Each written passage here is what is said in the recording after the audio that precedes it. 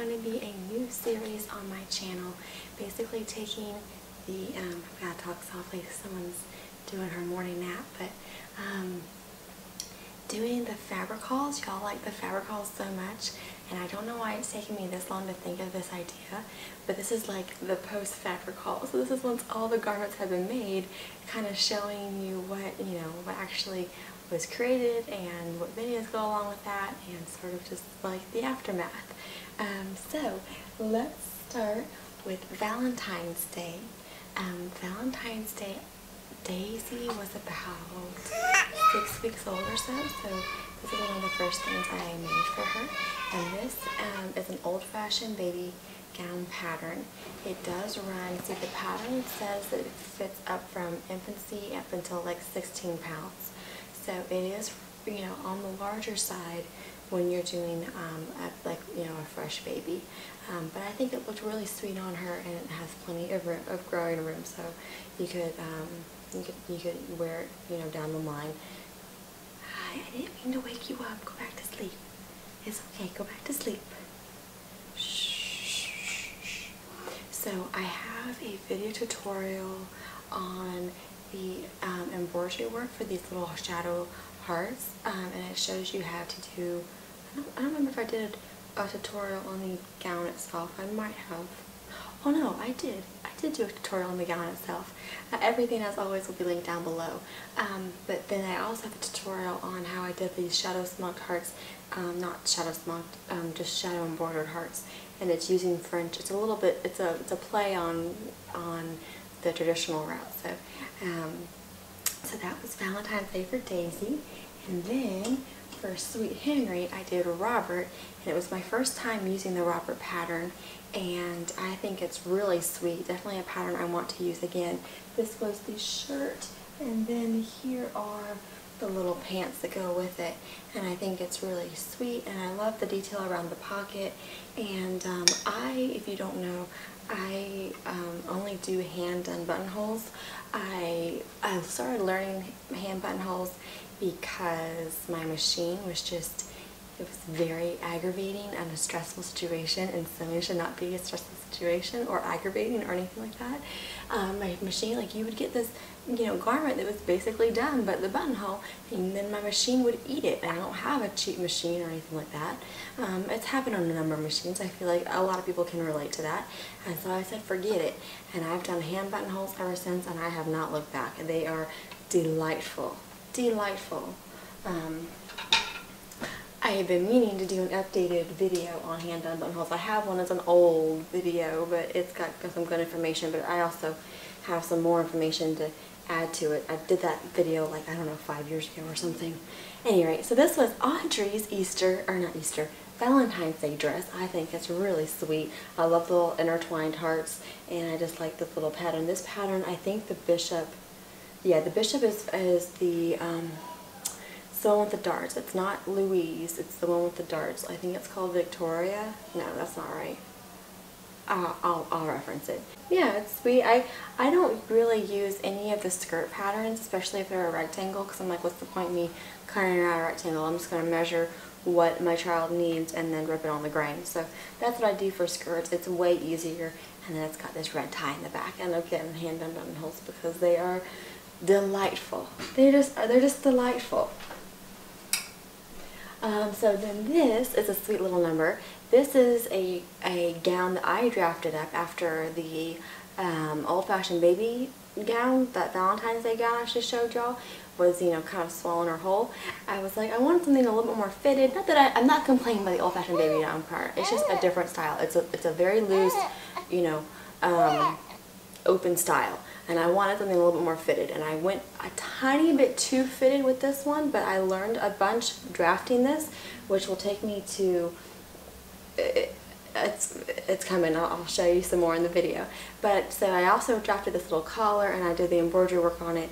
It's so sweet. Um, I think so at least. And of course her name being Daisy I did a play on that and it's got little daisies on here now I did cut work embroidery on here by all means, if it intimidates you, but you still want to try this, you think it's really pretty or something, you don't have to. You could do shadow work embroidery. You could do the satin satin stitch, you could do a pattern stitch. There's a bunch of different ways to make it your own and not, you know, to have to do the cut work embroidery. So if that is what's stopping you from doing this and otherwise you want to do it, then jump in and do another stitch. Um, you know, no big deal with that. This is my also my first time using Bearissima, if I can say that correctly. That Batiste, it's lovely. I will definitely be using it again. It is just divine. I know it's a pretty penny, but it's really, really nice stuff. So that is uh, another thing that I made this last spring. And then this is another old-fashioned baby gown pattern. I do like her patterns. I'm not trying to talk bad about them. They do run big for like fresh newborns though. Just an FYI but they are very pretty. I'm actually having a sew along for this pattern and it's all edited, it's all up on YouTube right now. I just got to do all the thumbnails just. I have to do all the thumbnails and the end cards and there's a whole bunch of crap that goes on that like even though all the videos are done I probably have another couple hours just of thumbnails and all the links and all the you guys know, oh my gosh. Anyway, so this is one that I already have a tutorial out for, but I will be doing a sew along with it. I think it's really pretty. It's so sweet. I also have a separate video on how to do the embroidery work. It's super easy embroidery work, especially if you're a beginner. It's mainly lazy daisies, and really the spots where she does have a bouillon rose, it would be super easy to just sub for a lazy daisy flower if that's intimidating you. Just take it to a lazy daisy flower. No one's gonna know, you know? And if that makes, if that's what's keeping you from making something like this, just just take it down a notch. It's okay. You'll you'll get there one day. It's a journey. It is a journey. So um, I think it's really pretty, and it would just make a great you know first first uh, photos, take home uh, outfit, whatever. Um, it just it's just really pretty. So and it would be pretty without the embroidery work and just the fabric. Oh, the fabric. The fabric is the Swiss flannel. My first time using Swiss flannel, other up to this point I've used a superfine flannel. And I've talked about this before. The superfine flannel is, is lovely. It's the cozy, super soft. It pleats beautifully. Um, I actually haven't pleated this fabric, so I'd, I would think it pleats well, but I actually haven't done it. But this stuff is divine. This is the heirloom stuff that, um, like you wouldn't really, I mean you could, but you really want to, you, you traditionally want, like, blah, blah, blah, blah, what I'm trying to say. Um, this Swiss flannel is much easier paired with like fine lace and stuff. The cozy, super fine flannel, you could put lace with it if you want to, but it really fits on the Swiss flannel. It's really, that's the heirloom quality there. Then, of course, is our little Jamie bubble. I've seen so many of y'all make this. This was a sew along. Um, I've done a number of tutorials on the CC Jamie before, but this was a sew along version, and I've seen so many of y'all finishes finished products, and I am just delighted that you guys had fun with this. Um, and, and I know no one called me out on it, but in the so long I kept saying organza. This is actually organdy collar, and I knew that, and I linked the correct thing, but I kept saying organza but it's organdy. So basically organdy, if you don't know, is a cotton, it's kind of like the cotton version of organ, or, organza. So silk, you can have a silk organza, you can have a polyester organza. Um, I don't believe, correct me if I'm wrong, I don't believe you can have a cotton organza. I think the cotton organza becomes organdy. But anywho, so it's really sweet and I'm really happy that you guys participated and you shared your your little um, bubbles with me and I got a, I got an email from a woman that was like she, she, and she's fixing it. It's no big deal. Um, but it was one of those emails I, I went, oh my goodness. Um, she had made this, this mistake and, you know, you remember back in those days, like I say, it's a journey. And I remember back in those days making these mistakes where you just go, well, what was I thinking? You know, how did I end up here and how do I get out? Like, if you guys are there, please email me or leave a comment or something. Oh, we've got Henry. Are you done watching your cartoons? Can you go potty? So anyway, then I got to this. And this is a gown that I was inspired. I saw a technique through Threads magazine. Side note, Threads magazine, I've, I've seen a number of the magazines, right? Australian Song Embroidery, the one that's out now, um, and Threads magazine, I am absolutely in love. I've never seen a magazine like this. The only one that really touches is Australian Smocking and Embroidery because it has so many of the patterns, but it doesn't have the techniques. Like Threads magazine is chock full of techniques. I've gone and sorry, Henry's in the background now. I've gotten three of their issues now, and every time I open it up, and I'm like, I learned so much, right? It's, it's incredible. So I saw this technique online, and I was like, I have to do, I was like, I it just, it just screamed at me, all right? It pulled me in, and it so inspired me, and I was like, I have to do something with that. So that drafted this, which I was talking about before with um, learning that this was a little bit too tight. It helped me out draft this thing up.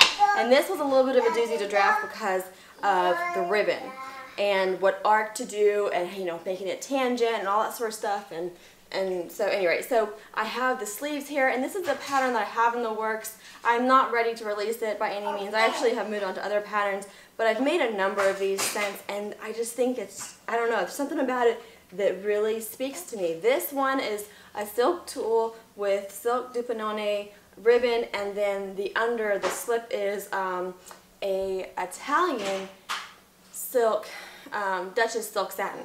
So, lots of silk. um, not the easiest to sew if you're a beginner, but if you want a challenge, here you go. This is something that is new. It's just something that's different than like, I mean, let's be real. How many like, if you're not feeling as inspired by like the traditional, you know, French lace with the flowers and the whatever smocking and you know what I'm talking about. The dress has kind of been done over and over and over again. This is something that is just it, it had me going, had my juices flowing again, right? Um, and there's nothing wrong with a good pastel dress that it has a ton of flowers on it. That's, that's all fine. But sometimes you just need to branch out and just kind of like, you know, spread your wings a little bit. So this is Henry's um, second, Henry, what are you doing? This was Henry's second birthday outfit. Of course, we did not have a party this year because of the whole COVID and everything like that, but I still wanted to do photos. So we went to a nearby park that nobody was there. We went early in the morning. Um, we kept the, the, the girls in the van with the DVD on and the car running and stuff.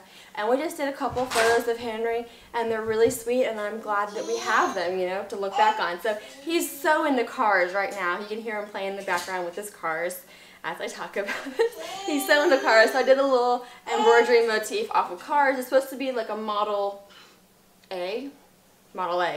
Um, and I think it's really sweet. So there's that. That Oh, this pattern is, um, the top of it is the Creations by Michie pattern, and the bottom of it are the pants from the Children's Corner Boys collection thing. So, then we've got Easter. Henry's Easter uh, shirt has some drawn thread on it. It's my first time doing drawn thread. It's delightful. I actually filmed doing this so I could put together a video for y'all um, sometime. I've got so many, I've got so many things to edit, y'all. It's insane. And I've got so many videos in the queue and uploaded and here and there and I'm like play on the calendar. It's crazy. So anyway, so then I've got his pants, and I threw on some embroidery work on his pants because I only had the drawn thread, and even Charlie, I was looking at him going, you know, compared, especially compared to the girls, like, this poor boy only has this row drawn thread, and even Charlie was like, he said something about it, and so then I threw on some, some embroidery work on, on his shorts. He's so into talking right now. And I forgot to put an eye for the duck, but that's just gonna how it stays because I think of this as a memory, right? Like I was so involved with this and that and whatever. Your duck didn't have an eye and that's part of the memory of it. so then I've got Audrey's Easter dress and paired with that was the first time that I used the petticoat, I think it was, I think it was the first time I used the petticoat. This is the one from um, uh, Farmhouse Fabrics. them. Um, it's it's really a sweet little petticoat, and so if you're looking for one, go you know, and you don't want to make it, just grab one from them. Um, so hers has some drawn thread on it. It also has embroidery on it, and I did a video that it's just a it's just a pretty video. There's not really much uh, instruction to it, but I did a pretty video kind of going over the embroidery work for this one. And then Oh, I also used some sequins for the girls. These little button sequins, um, uh, they're mother of pearl little sequin things, and I saw these. I've had them like for five years, okay? I saw them and, and when I first saw them, I was like, these should be nestled into flowers. And I didn't quite do the design that's in my mind because I don't have the time for it. It's like more evolved than the ones I'm showing you. But aren't they sweet? They just had like a little pop of, of like, of something, right? Like another little level of like shimmer and, and just another texture. And it, I think they're really sweet. Anywho, so this is Daisy's gown. I did draft this, and I like the way it fits. Um, it fit on her. Uh, it's got the petal sleeves that I drafted on the ribbon dress from the threads technique, and then it's got some Madeira um, hem on the bottom, which I have a, a, video on how to do Madeira hem. And all of the Easter stuff was linen. Um, like I said, I will have it all linked down below. And I did a little bonnet for Sweet Daisy too for her Easter outfit. So those are my makes. Um, I have gone through Farmhouse Fabrics and I've put together my order for summer. Always super excited, right at the point where you've ordered, Henry, you're at the point where you've ordered it and you're waiting for it to arrive and it's just the most exciting time. Every time, and I've, I've done this for 10 years and every time it is just super exciting. You're like, is it gonna come today? Is it gonna come today? Is it gonna... And then you get it and you're like, yeah! Anywho, so that video will be coming. Like I said, I'm, I'm trying to vamp up the channel, so I'm, I'm really putting putting it forward, and hopefully y'all are enjoying it and, and learning and growing and all that stuff. So, um, yeah, I hope this video was, was inspiring and motivating you to go and sew. We all have a lot more time than we are used to. Well, I shouldn't say that we are all home a lot more than we are used to. So hopefully you're able to